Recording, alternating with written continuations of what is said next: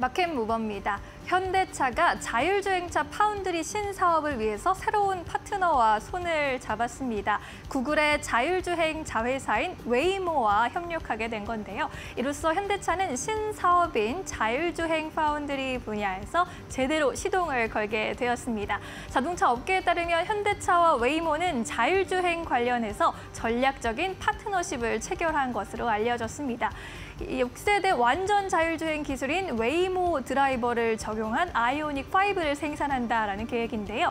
이 아이오닉 5를 자율주행 택시 서비스 웨이모 1에 투입할 계획입니다. 아이오닉 5의 경우에는 미국 조지아주의 신공장인 메타플랜트 아메리카에서 생산될 예정이라고 합니다. 하드웨어 이중화와 전동식 도어 등 전용 사양을 적용한 모델을 공급한다라는 그러한 계획을 밝혔습니다. 이로써 그동안 조금 주춤했었던 자율주행 관련 경쟁이 더 격화할 것이다 라는 전망이 나오고 있는데요. 이번 주에 미국에서는 테슬라가 로보택시를 공개하는 행사를 개최합니다. 다음 장에서 만나보시죠. 네, 미국의 테슬라가 현지 시각, 서부 시각으로 10월 10일 저녁 7시, 우리 시간으로는 11일 오전 11시에 행사를 개최하게 됩니다. 완전 자율주행 기술을 적용한 로보택시, 무인택시를 공개하는 거고요. 여기에 더불어서 자율주행 기술 그리고 사업 전망 등을 함께 발표할 예정이어서 기대감을 한껏 모으고 있습니다. 이에 따라 테슬라의 주가도 최근에 상승한 바 있는데 최근에 또 월가에서는 로보택시 공개를 앞두고 일부에서 비관 논의도 부상하기도 했습니다. 한 자동차 애널리스트가 뉴스에 팔아야 하는 이벤트가 될 가능성이 크다라는 발언을 한 겁니다. 1, 2년 내 상용하기까지 실제 경로가 나올 가능성이 희박하고 또 신차를 공개해도 테슬라의 점유율을 추가로 확대하기 힘들 것이다라는 의견을 제시했는데요. 오히려 테슬라의 점유율이 잠식당할 수도 있다라는 의견이었습니다. 자동차의 매출 이익률이 포함된 3분기 실적을 발표해야 할 텐데 아직 실적상으로도 제대로 보여주지 못하고 있어서 기대감이 크면 실망감이 클 수도 있다라는 의견을 제시하면서 테슬라의 주가가 또 하락 반전하기도 했는데요. 이번 에 테슬라가 어떠한 비전을 밝혀줄지가 굉장히 중요할 것으로 보입니다. 어떠한 비전과 어떤 내용들을 발표하게 될지 예의주시해 볼 필요가 있겠습니다. 마켓부과 함께 하셨습니다. 네, 이어서 네 번째 기업 바로 만나보도록 하겠습니다. 박정식 파트너님께서 가지고 오셨는데 그리티 가지고 오셨습니다. 오늘 2% 넘게 상승세, 어, 장중에는 2,900원대까지 올라가기도 했는데 어, 이 종목 어떻게 보고 계십니까?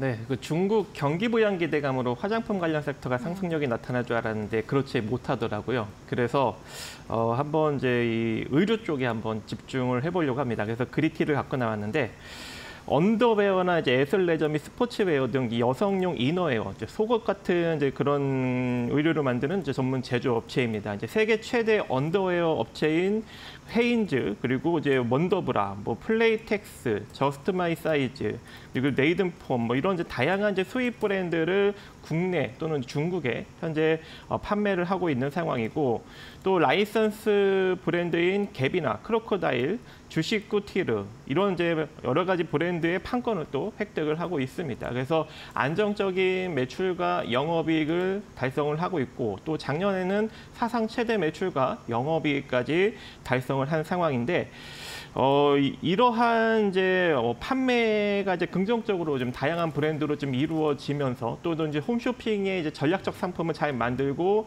대량 생산을 해서 이제 성공적인 판매를 이제 지속적으로 만들면서 어, 꾸준한 좀 성장력을 좀 이어가고 있는 것으로 보여집니다. 그래서 어, 전년도 이제 매출액이 한 1,761억 정도 그리고 영업이익이 어, 111억 정도가 나왔는데 올해 상반기에만 벌써 매출이 1,040억 그리고 영업이익이 74억이 나오면서 전년도 상반기 실적을 훨씬 뛰어넘는 긍정적인 어, 기조를 이어가고 있는 상황입니다. 그래서 아무래도 이번에 이제 중국 관련 부양책 이슈로 중국 증시는 지속적으로 상승력이 나타나는데 이제 우리나라 관련 종목들은 중국 소비주들은 별로 이제 움직이지 못하고 있는 형국이어서 그리티가 아무래도 좀 긍정적으로 움직일 수 있는 여력은 있지 않을까 이렇게 생각을 하고 있어요. 그래서 오늘 보니까 한 대략 한 2% 정도 이상 상승 상승력이 나오길래 한번 여러분들이 지금부터 한번 잡아보시면 좀 좋을 것 같아서 갖고 나왔고요. 2,800원 이하로 좀 분할 매수 관점으로 가져가 보시고 이 상태로 이제 단기적인 상승력이 나타난다면 아, 2,900원 정도 자리까지 2,930원 정도 자리까지는 빠르게 올라갈 것 같고 조금 더 올라가면 한 3,000원 정도 자리까지도 충분히 어, 단기적으로 바라볼 수 있지 않을까 생각을 해봅니다. 네, 중국 소비에 대한 기대감으로 이제는 화장품이 아니라 의류 쪽으로 조금 더 움직이고 있는 것 같은데 그 분위기를 좀 이용을 해보자 라는 의견 전해주셨고요. 이어서 다섯 번째 기업 만나보도록 하겠습니다. 대한유화입니다. 오늘 4.6% 넘게 급락세 나오고 있는데 박수범 대표님께서 가지고 오셨습니다. 기관 수급 계속해서 들어오고 있는 기업인데 어떻게 보십니까? 네, 뭐 지금 현재 뭐 국제 유가가 상당히 좀 빠르게 좀 올라가고 있습니다. 뭐 자료를 좀 보면서 말씀드릴까요? 자, 브렌트 유가 좀 보게 되면 최근 10월 달 들어서 지금 이제 보시는 것처럼 어, 중동의 지정학적 리스크가 좀 올라가다 보니까 현재 오늘 같은 아 간밤에 보면 이제 브렌트 유가 80달러를 좀 넘어서면서 3.69% 상승 흐름을 좀 보여줬습니다. 자, 이런 흐름들을 보여줬는데 그전에도 보게 되면 자, 이날 같은 경우에도 지금 이제 5% 정도 상승 흐름을 보여줬고 단기 급등이 상당히 좀 빠르게 좀 움직임을 좀 보여주고 있다라는 부분들에 있어서 일단 지금 대한유화 같은 경우에는 뭐 대한유화도 마찬가지고 롯데케미칼도 마찬가지, LG화학도 마찬가지고 어, 관련 종목들의 움직임들이 전체적으로 상승 분위기를 이어나갈 가능성이 상당히 좀 높다라고 좀 보고 있습니다. 어, 여기에다가 중국 쪽에서 이제 경기 부양책 얘기가 좀 나왔죠. 아, 무려 10조 위안입니다. 10조 위안이면 대략적 우리나라 돈으로 계산했을 때 한 1,800억, 아, 1,800조죠. 1,800조. 1,800조 되는 엄청난 금액인데 이 경기 부양을 에 대한 이슈가 계속해서 이번 10월 달에 계속해서 나올 겁니다. 얘기가. 뭐 그렇기 때문에 그 내용들을 통해서 이제는 우리가 이런 석유화학적 분야도 관심 있게 좀 바라봐야 된다고 판단하고 있고요. 어, 그래서 지금 이제 동사의 좀 차트 흐름을 좀 보게 되면 그동안 정말 주가 조정을 좀 많이 받았어요. 실제적으로 실적 또한 좋지는 못했습니다. 영어 이익이 계속해서 작년에도 마찬가지였고 올해도 마찬가지로 계속해서 어, 마이너스를 좀 보여주다 보니까 주가는 계속해서 조정을 좀 받았어요. 조정을 받고 난 이후에 최근 들어서 유가의 움직임들이 좀 긍정적으로 움직임을 보여주고 있고 어, 거기에다가 어, 여기서 그 연기금의 자금들이 좀 많이 좀 들어왔습니다. 꾸준하게 좀 들어오고 있어요. 이 거래량을 좀 보시면은 어, 동사 같은 경우에는 하루 거래량이 그렇게 많은 종목은 아닙니다. 뭐 그러다 보니까 발행 주식수가 그렇게 많은 종목이 아니다 보니까 그렇긴 한데 또 보시는 것처럼 연기금 쪽에서는 꾸준히 지금 현재 5일 연속 순매수를 좀 이어나가는 모습들이고 물론 거래량만 좀 보게 되자면 뭐 좀 작아서 측정하기 불가하다라고 생각하시는 분들도 계시겠지만 뭐 그 부분들은 어차피 대한유화의 좀 특징적인 부분이니까요. 뭐 그만큼 상장 주식수가 지금 현재 650만 주밖에 안 됩니다. 아, 상당히 좀 적, 적다 보니까 어, 거래량이 좀 적다라는 부분들 우리 개인 투자자분들 좀 인식하고 대응할 필요가 있고 또 특히나 대한유화 같은 종목들은 단타 그러니까 우리가 스윙이라든가 스케일핑이라든가 단타할 수 있는 종목이 아니에요. 왜냐하면 거래량이 적기 때문에 이런 종목들 같은 경우에는 어, 업황의 전환을 통해서 추세적인 움직임에 베팅하는 종목입니다. 그래서 어, 그런 관점으로 이제 소위 얘기해서 최소한 우리가 최소한 우리가 뭐 이런 종목들 매매할 때 최소 일주일 이상은 좀 가져갈 필요가 있다는 거죠. 뭐 사자마자 뭐 요즘 뭐 워낙 데이 트레이딩 물량이 좀 많이 늘어나다 보니까 어, 그런 부분들에 있어서 하시는 분들도 있긴 있는데 대한유화는 그런 데이 트레이딩 하기에는 적합한 종목이 아니다. 왜? 데이 트레이딩을 하려면 은 거래량이 일단 10만 주 이상은 좀 발생해야 된다, 하루에. 그런데 동사는 보시는 것처럼 어, 정말 많으면 5만 주. 예. 그렇지 않으면 뭐 만 주일 때도 많아요, 솔직히. 거- 하루 거래량이. 그렇기 때문에 뭐 대한유화 같은 경우에 그런 이제 어, 뭐라 해야 되나 어떻게 보면 데이 트레이딩으로 적합한 종목이 아니기 때문에 추세적인 매매를 통해서 단기 수익을 좀 끌어올릴 수, 수 있는 어, 그런 장점으로 우리가 바라볼 필요가 있다라고 말씀을 좀 드리면서 뭐 다른 종목들도 뭐 석유화학 쪽도 괜찮고 저는 뭐 S오일도 좋다라고 판단하고 있고 SK 이노베이션도 저는 긍정적으로 바라보고 있습니다. 그렇- 그렇지만 대한유화 또한 어, 단기 상승에 있어서의 새로운 수급들이 들어와 준다면 단기 급등도 가능하다라고 저는 판단하고 있어서 어, 그렇다면 저는 어, 전 고점 부근이 15,000원까지도 무난하게 좀 상승 흐름을 좀 잡아도 어, 된다라고 저는 판단하고 있어요. 그래서 뭐 투자 기간 같은 경우에는 대략적으로 한 2주 정도, 아, 2주 정도 안에는 어, 충분히 대응 어, 15,000원까지도 어, 대응이 좀 가능하다라고 좀 바라보고 있으니까요.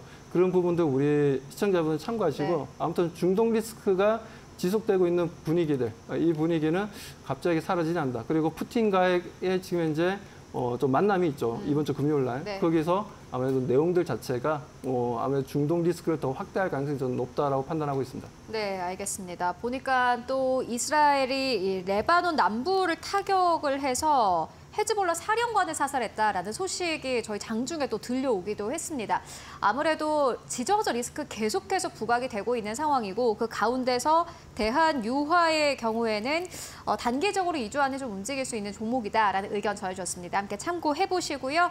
이어서 마지막 기업 만나보도록 하겠습니다. 태경케미컬입니다. 오늘 주가가 7% 넘게 상승 탄력을 가지고 가고 있는데 박소지 파트너님께서 어떻게 보십니까? 네, 이제 태경 케미칼은 아무래도 좀 이제 개별적인 좀 이슈가 있는 것 같은데요. 일단 뭐 다행히 당연히 좀 실적도 조금 긍정적으로 나오고 있는 업체입니다.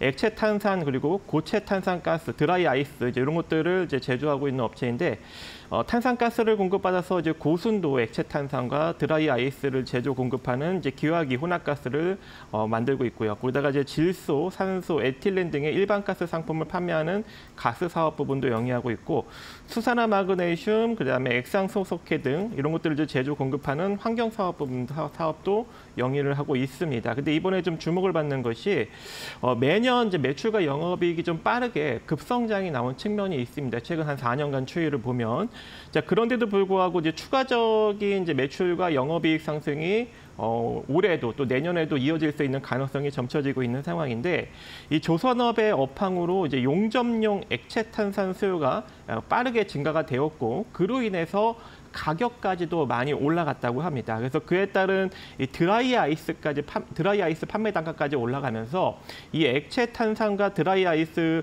판매 단가 또는 이제 수요 증가 이제 이런 것들로 어, 매- 매출과 영업이익이 빠르게 증가가 되고 있는 그런 상황이고 어, 이번에 이제 LG화학과 좀 계약을 맺었는데 LG화학이 건설 중인 이제 수소 공장에서 이 원료 탄산을 이제 조만간 이제 공급을 받게 됩니다. 그래서 수소 공장이 이제 완- 완성이 완성이 되면 만약에 이제 공급을 이제 받기 시작하면서 어, 만약에 이제 그 관련 플랜트가 완공이 되게 된다면 액체 탄산 생산 하루 생산량이 현재는 820톤 정도 수준인데 1,420톤까지 증가가 된다고 합니다. 그래서 어, 이렇게 이제 생산 캐파가 이제 증가가 되게 된다면 내년에도 이제 매출과 영업이익이 빠르게 증가될 수 있는 여력도 충분히 존재, 존재하는 것이고 이러한 수요를 끌어올리는 것이 조선업의 호황인데 조선업도 내년까지도 상당히 좀 좋게 흘러갈 수 있는 가능성이 매우 높은 그런 상황이어서 어, 태경 케미칼이 최근 이제 오늘 이렇게 좀 부각을 받고 있는 것이 아닌가라고 생각을 하고 있어요. 그래서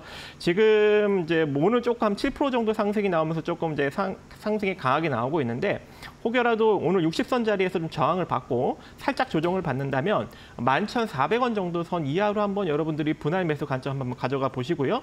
이- 여기서 살짝 조정을 받았다가 다시 빠르게 올라가면서 60선을 돌파하게 된다면 120선 정도 부근인 12,900원 정도 자리까지 단기적으로는 충분히 바라볼 수 있지 않을까 생각을 하고 있습니다. 네, 태경케미컬 앞으로의 상승력 기대해 보도록 하겠습니다. 지금까지 박수범 대표 그리고 박정식 파트너와 함께 이야기 나눠봤습니다. 말씀 고맙습니다.